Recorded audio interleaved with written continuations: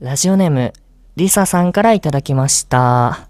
はいリサさんありがとうございますこんにちは、リサです。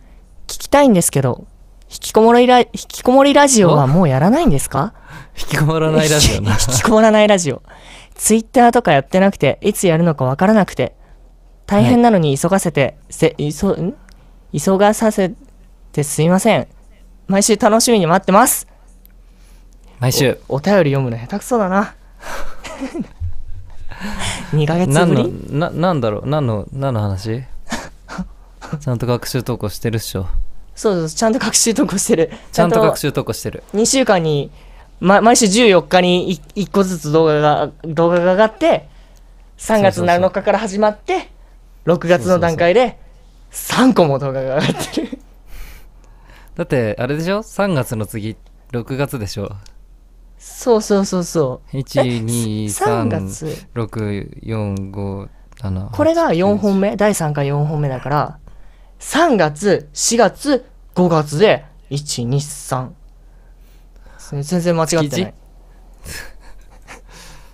学習学習とは？学習とは。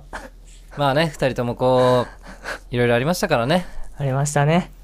まあ本当に本当にもうぶっちゃけ申し訳ありませんでしたすみませんでした 何も言い訳できない。ごめんなさいとしか言いようがない。結構こうね。2人としてもいろいろあったしまあお互いお互いもいろいろあったしね。うん。そうそう。仕方ないんです。取ろうと取ろうとは試みたんだよねそうそうそうそう。やろうと思う気持ちが大事なんですよね。4回目だもんねこの4回目を取るのが4回目だもんね。いやでも実際そのいい一回直接会って撮ろうとしてみたり、なんか台本2回2回2回。そう2回2回2回直接会って撮ろうとしてそう1回はマイクがなくて俺2回目マイクを持って行ったのに、スタンドがなくて。うん、そうそうスタンドなくて。夜中までね何したんだろうねあの日ね。あの日はあつあの日ほんと何もしない。あのなんか4時間ぐらい使ってラジオを撮ってボツにしただけ2人で弾き語りとかしてたね、あしましたしました。夢花火とかやった、まあ、そのうちどこかで公開されるかも。かもしれない。かもしれない。そう高望みはせずにあの5回ぐらいまで頑張って続けようと。いや終わるじゃん時間。高望みはせずにうん。100回まで続けるためにはは100回。100回まで続けるためにうん。ある程度はこうまあこれ投稿してもいいっていううん。ゆるさが必要だと思う、なんかあの記念をやりたいなと思ってて。記念？10回記念になったらうん。なんかロケやりましょう。海外行く？ロケって何ですか？ちょロケっていうのは使ったけど。ロケはうん。ロケーションハンティングだからうん。なんか事前にこう場所行って場所借り確かめるみたいな感じでしょ？場所借りて？ロケはん？ロケってうん何ですかわかんないけど。なんかあの あれやりたいですね。海とか。そうだね。今海海。今から今からちゃんと学習で投稿すれば第10回が多分夏明けぐらいか。あ夏？夏中か。夏中なので。うん。あ夏中じゃ夏明けか。まあ、人が多いところだと喋れないからやっぱり自然とか、まあなんか例えば温泉行って旅館で撮るとかうんうんうんうん。のはいいんじゃない？うんうん。うん。うんそんな感じでじゃ頑張りましょう。予算のないラジオ頑張りましょう、じゃあということで、あはいはい、始めていきましょうかね。はい、いろいろありましたがまた学習投稿していきますので。はいよろ皆しくお願いします。願いします。はい。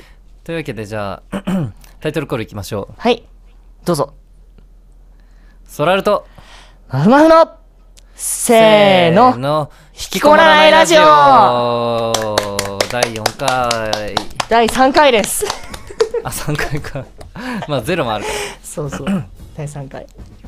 えーというわけで今回ははい。あんまり頑張らずにリハビリ枠。リハビリ枠。というわけで皆様のお便りを頼りにえ？やっていうこうかわーカットと何何ーカッ何トです。なんで？カットです。なんで？いやそれはきついないやいやいややっぱりラジオといえばいや皆様の皆様の頼りを頼りにって。あそこかよ。そこかよ。あもう言わなきゃ分かんなかったのに。気づいてなかったし俺今 いやほんと気づいてなかった。どうせあれでしょあのそれはさんそのテキストにあのここで皆様のお便りを頼りにって言うって。はい。本当に気づいてなかったお前なダメだよそういうこと言っちゃ。って感じ。それがボスにつながるんだよ。はいというわけではい。今回は皆様のはい。お便りを読ませて、いただきます。というわけで、え2人目。はい。ラジオネーム緑風さん。ソラルさんマフくんこんにちは。初めてメールさせていただきます。まずはじめにソラルさんマフくんアルバム発売おめでとうございます。ありがとうございます、えー買いましたとても素敵な素晴らしい作品をありがとうございます。それからニコニコ超会議マフくんのスペースに行かせていただきました。少しの間でしたがソラルさんと会話できてすごく嬉しかったしソラルさんから手渡しで CD を変えてよかったです。これからも活動頑張ってください。ずっと応援しています。このラジオも毎回楽しみにしています。とのことでした。ちょっと待って。え？待って待って待って。これえ質問とかないじゃないですか。ちょっとなんでこれ？なんでこれはあれこれこれあれですよ。応援メッセージですこれ。ありがとうございました。ありがとうございます。これ応援メッセージだからラジオで取り上げて読むメールじゃない。ソラルさんでしょチョイス。ちょっと。なんで俺これ選んだんだろう。違う。あのねうんうん、うん、考えはあるの。そのさアルバムのこと触れてなかったじゃん4月の投稿から だからあこのラジオのこのメールを読んでアルバムの？宣アルバ伝ムの話とかをしようと思ったら 質問されてなかった。かちゃんちゃんと考えてたんだよでもそこは。まあいいよ。じゃあちょっとアルバムの話しようぜ。せっいいですよかくだし。せっかく2人ともねアルバム出してさ。イベンせや。せやト。あでもおせやね。前まだ終わってないかイベントえ終わった僕はえー今週で終わりです。今週で終わりか。まあでも大体ね、アルバムの流れのこうイベントも2人ともほぼ落ち着いて、終わりはい。制作途中もね2人でこう相談しながらはい。曲作ったりとかさアルバム音源こう確認したりとかしましたね。しましたね。あそうだ大変だったな。だったね。もうなんか過去のことだねでもね。不思議。もうでも4ヶ月前とかですよね4ヶ月経たないんじゃない？2ヶ月ちょいじゃない？2ヶ月ちょい。3前月末ぐらいでしょ入校あそうです。だからまあ2ヶ月ぐらい。完成してこう聞いてもらって反応ももうもらったわけじゃん。どうだった、あいやすごい良い良い反応をみんなたくさん買っていただいてみたいで。あの、握手会とかもちゃんとあれだったんです満帆で、うんうんうんうんうん。はい。本当ありがたい限りでねす、ありがとうございます。皆さん、本当にそうだね。なんかうん、いやいいアルバムでしたよまふまさん。ああいや恐縮です。そらさんの方こそ。ありがとうございます。いますいろいろね。この褒め合いをするっていう。いやまあさすがにアルバム出たんならラジオで触れとかないとな。頑張ったんだから。あ聞いてくださった皆さんもありがとうございました、りがとうございました。アルバム好評発売中で。今すぐお店へ。あ URL はこちらあで今上に。ひどい。じゃあ次のお便り行きましょうかね。はい。えー、次行きます。えー、ラジオネーム黒きフォローの血を継ぐ者さんからいただきました、はありがとうございます、えーどうもソラルさんマフマスさんはじめまして。はいはじめまして。早速ですがお二人に相談があります。はい。はいなんなんでしょう、えー僕には今好きな人がいます。お甘酸っぱいしかしその子には好きな男の子がいる上その二人は家が近かったり親の事情でよく遊んだりと漫画に出てくるような幼馴染なのです。ほおうー。男の子はイケメンで運動もできる。僕には勝ち目もありません。お二人ならこの状況でどんな行動に出ますか、えー真剣に悩んでおります。ご意見いただければと幸いです。えご意見いただければ さいいご意見いただければ幸いです今後もお二人の活躍に期待しております。はいありがとうございます。黒木フォローのありがとうございます。つぐものさん。すごい名前ですね。す すごい名前。まああれですね。好きな人がいるんだけどその好きな人にはそのイケメンの幼馴染がいてしかも仲がいいど近い。どうしようと。よく遊んでる。どうしよこれあれだね。少女漫画のううんうん。主人公とうん。ヒロインとうん。モブ。もうちょっと待って待って待って待って待って。ここのこのこのコーナーはあの、あのこれは今回は悩みを答えるあれであのあれですよ。質問者さんを罵倒するあれじゃないですよ。完全にでもさもこうさにニセ恋？例えばニセ恋？うニセ恋ニセ恋はい。わかる？もちろんです。その主人公の男の子とはい。近くに住んでる女の子とはい。あいつばっかりなんであんな可愛い女の子たちと仲いいんだよムキってなってる男いるじゃん その枠。こちょっと待って。かわいあそう。いつばっかりあいつばっかりっていう枠。かわいそう。あのクラスメートのクラスメート男子そうそう ABC そうのそうそう。B あたりっていうことですよね。いや B もっと多分 F とかだちょと思う。っと待って。いやあのもっと希望ある話をしましょでもあれだね。なんか、う はい。漫画だとさそれ以上スポット当たらないけどうん。やっぱりみんな生きてるんだね。何の話ですか？いやなんかそのさモブキャラにもさうん。ストーリーがあるんだなと思って。ちょっと待って待って待って。この人モブじゃないですから。モブじゃないよ。大丈夫だよ。どうどう考えてもモブじゃん。モブじゃない。だって絶対幼モブ馴染じゃない。かわ幼馴染可愛いと思う。だってイケメンの男の子と仲がいい女の子だよ。絶対可愛いじゃん。女の子も。うん。しかもそうやってさこう恋焦がれてるわけじゃん。うん可愛い女の子とイケメンの男の子二人はよく遊ぶ。うん。家も近い。うん。スケール好きない。まああのー、あれやあれやで。あおのー、膳立てされすぎてる。あのね二次元は裏切らないよ。うんそうだね。まあモブはモブモブはモブらしく現実 ちょっと待って。ひどいひどいひどいひどいひどい。あのうん。あのーどこまであれかわからないけどちゃんと真摯に向き合っていくことが大事だと思います。普通にちゃんと話を。月並み。え？無理無理。ー、幼馴染で家近いんだぜ。きつくない？え幼馴染だから逆にその恋愛対象対象じゃないとかあるじゃないですか違うよ。他の男の子見てもやっぱり、うん。あいつの方がいいなってなるんだよ。なんかなんかそれさ少女漫画のあ俺結構少女漫画好き。少女漫画のおえ？そう。そんな少女っていう年じゃないでしょ。でももう付け入る好きないと思う。んまあ確かに。うそうだからもう当たって砕けてうん。諦めよう、うん。そしてしばらく二次元の世界で生きよう。ん。うはい。頑張ってください。報われない世界だ。あの気まずいので次のお便りお願いします。行きましょう。はい、えー、そらるさんまふまふさんはじめましてうーちゃんと申します。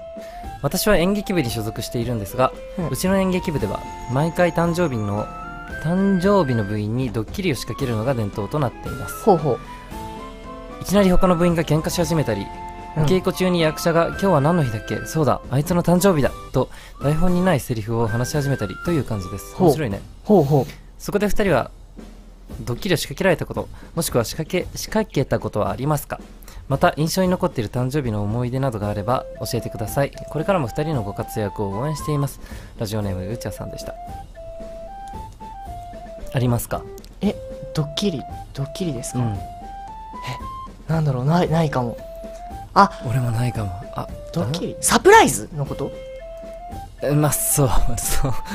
小学生かよお前、サプライズだったら、うん、あのこの間うちにあの突然ピンポンが鳴ってインターインターホンが鳴って、どうしたのかなと思ってピッて見たらコニーちゃんコニーくんと天月くんが立ってるんですよ、うんうんうん。え？なんだろう？なんだろう？って。ドア開けたら「マーク誕生日おめでとううん。誕生日おめでとう!」ってなんかこのチョコケーキみたいなのを持ってきてくれました。全然誕生日じゃない日に。誕生日じゃないんだ。ない時に持ってきてくれてなんか。お前お前さあれじゃない？アポなし凸さめっちゃ嫌がりそうじゃない？えあのめっちゃ嫌ですよ。そういうやつだよなおめ前えなんか突然突然来られるとマジ本当に本当にもう前もって連絡してよね。いやでも俺も結構わかる。アポなし凸困るよね。だって部屋が汚れてたりさ、うんうんなんならお風呂入ってないで髪の毛ボサボサだったりとかさ。え？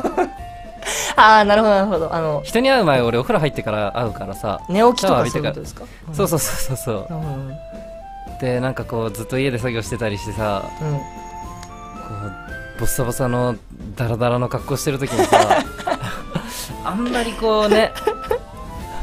でもいい普段そんなえでもそらるさん普段から割ときちっとした格好してません？いやだから最低限の格好してんだあ。よそれでも。うんなるほどね。最低限ね。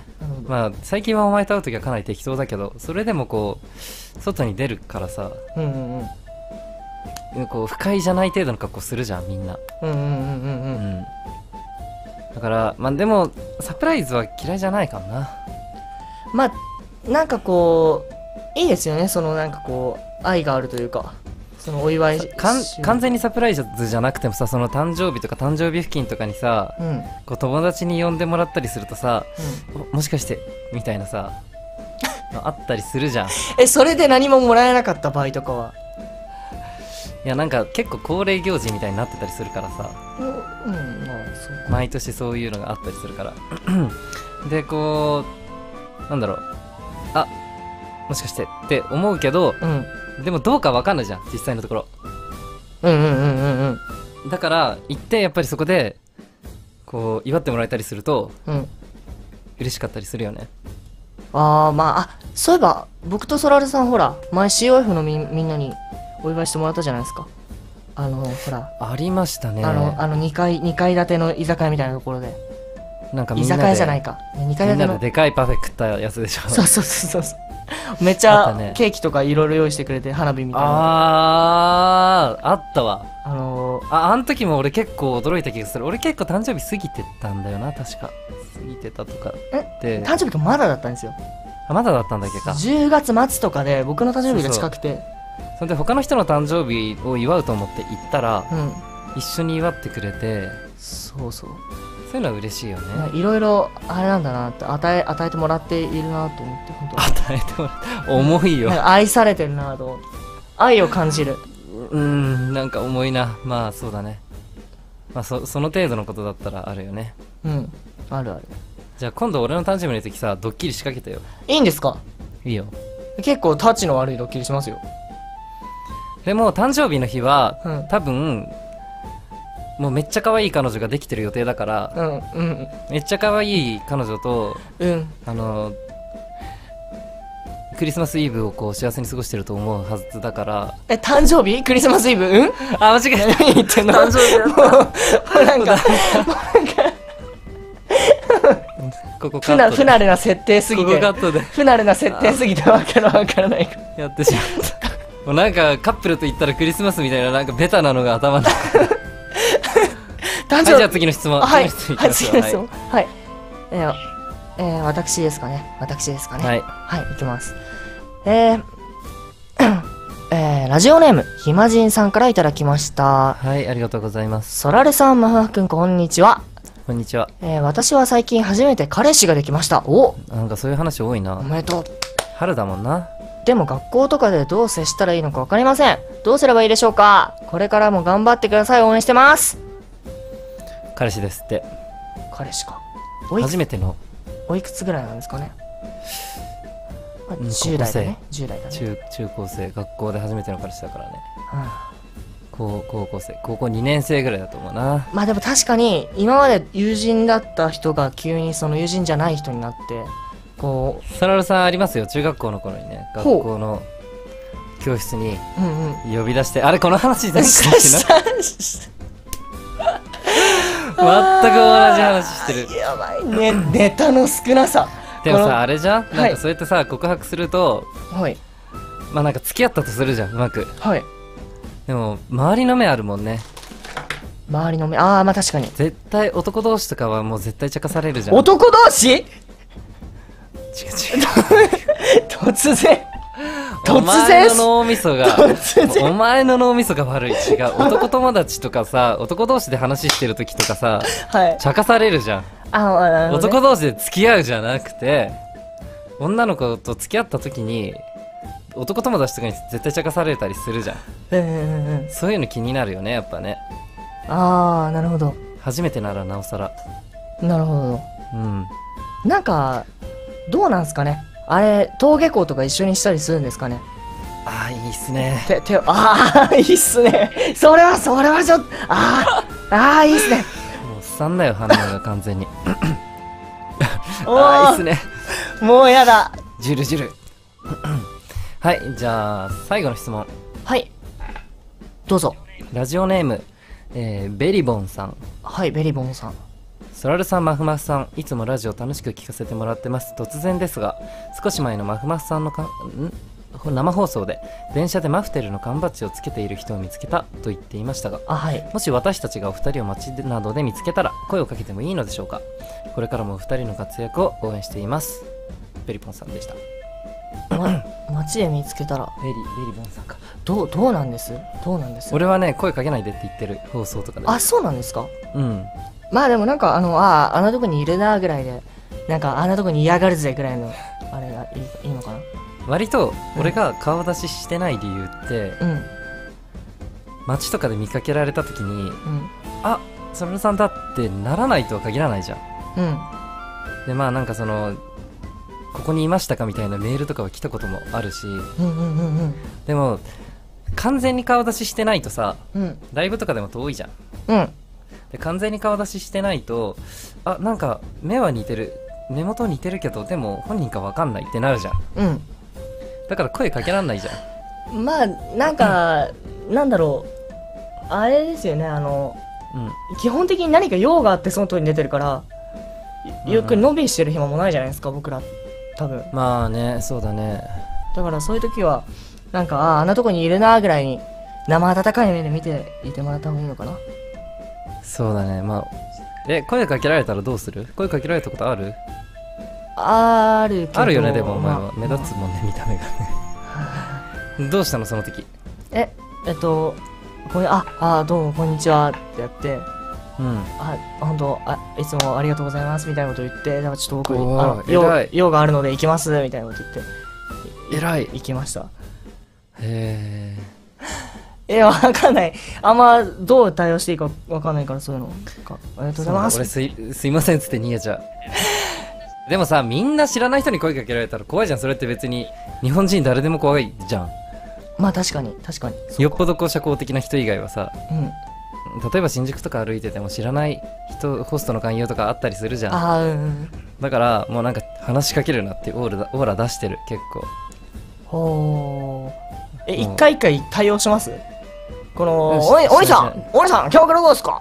お兄さんこの後キャバクラどうですか？はいはいすいません。っつってスッと言っちゃそうわかります。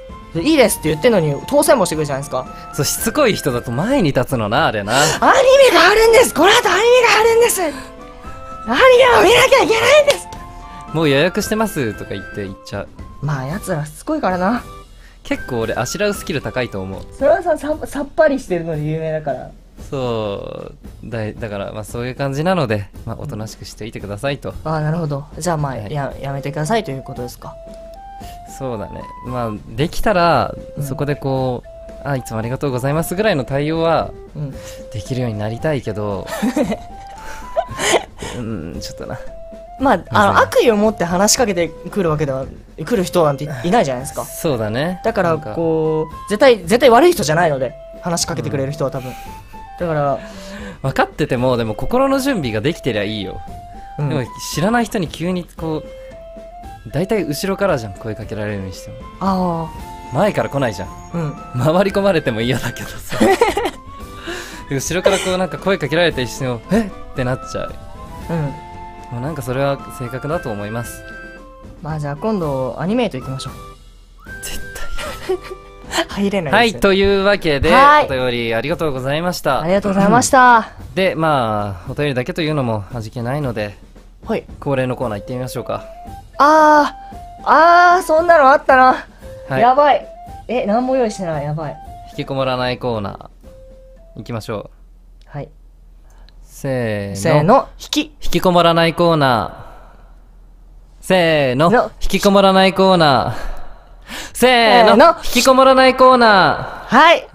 ーいや言ってる？そっち喋ってた？今。え何にも言ってないです。言えよ。ひひって言ってた。よし。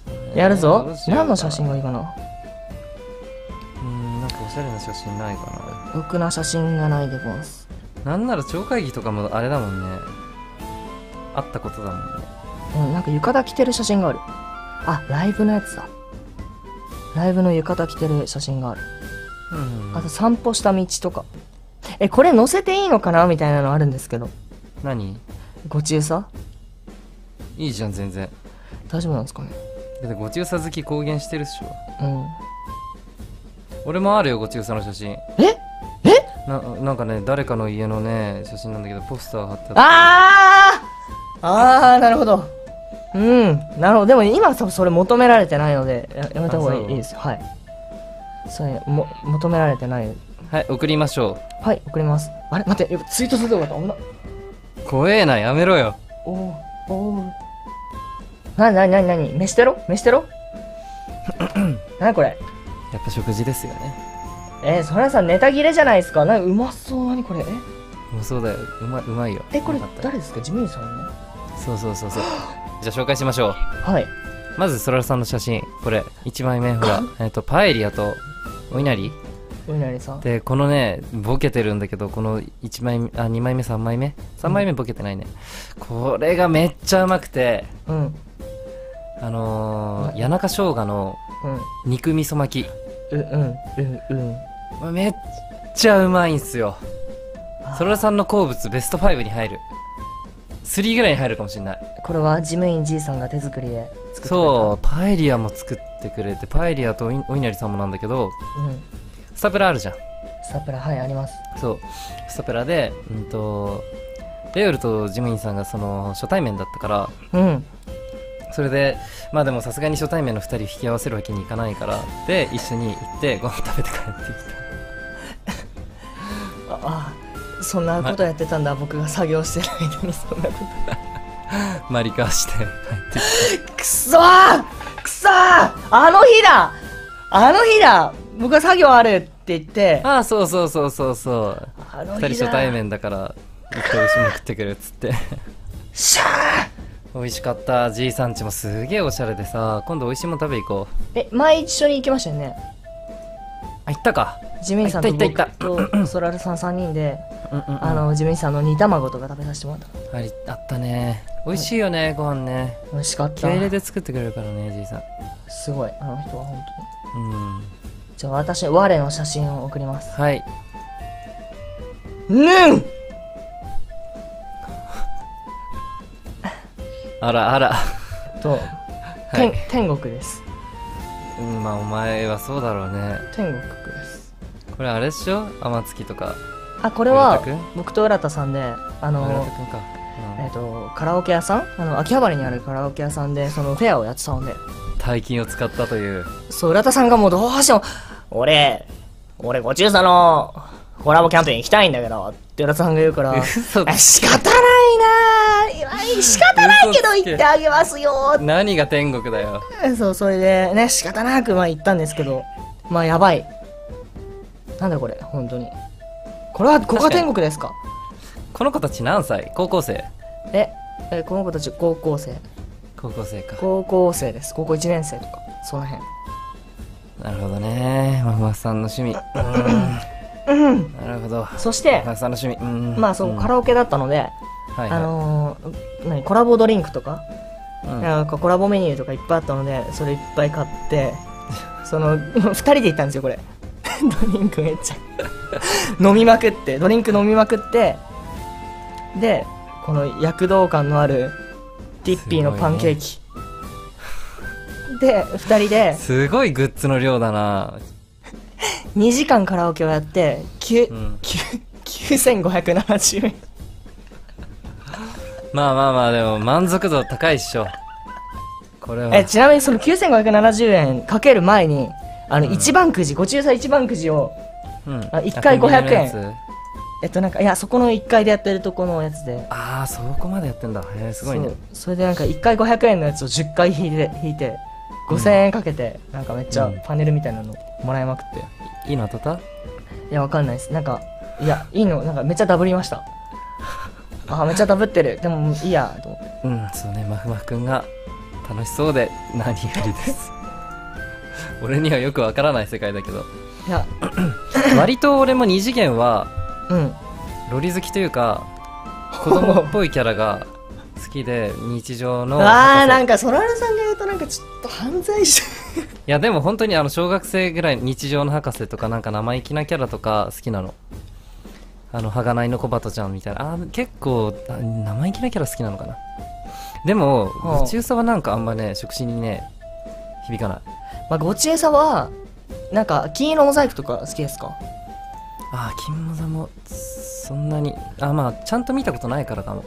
そう金モザとかごちえさとか。一応でもご中佐はお前に言われて見たけどね。エロかった。いきなりえ？ぬ脱いでた。いやいやいやいやそういうそういう目で見るアニメじゃないですよごちえさごちえさはそういうんじゃなくて、えー。ももっとこう笑顔でこう心を心をこう軽くしながら見るアニメですから。キモごちえさ民を敵に回すとご中佐民は敵に回してねえお前に言った。んだよごちえさ民を敵に回すと怖いんですよそうやって味方を作ろうとするなはい、まあじゃあそんな感じでそんな感じで2ヶ月だからねさすがに外も出ました。がまた。学習ペースに戻っていくのでうん外に出てまた。写真を撮っていこうかと夏祭りがねあるから夏祭り行きた。い夏祭りか、まあ、夏祭り夏祭りせいぜい第7回とかじゃない？あそんくらいか、78回ぐらいじゃない、うん。でお祭り会にして浴衣の写真を撮る。いいねそれ。お祭り行こうぜ。で浴衣の写真を動画に上げると動画にして上げてしまうと動画で多分ものすごいぶったたかれるのであのツイッターに上げる。ぼやけた写真とかにしよう。ボケた写真。そうですねぼやけた写真とか。じゃあまあそんな感じでこれからも学習ペースではい。多分このラジオは、うんえー6月7日。7日？木金あ6日だ。何か6日土曜日に投稿されているでしょはい、うなので まあそこから学習で2週間に1回投稿していくと思うのではい。これからもよろしくお願いしますというわけで第3回。えソラルとマフマフの引きこもらないラジオ。あソラルと。マフマフの。引きこもらないラジオでした。ありがとう。またねバイバイ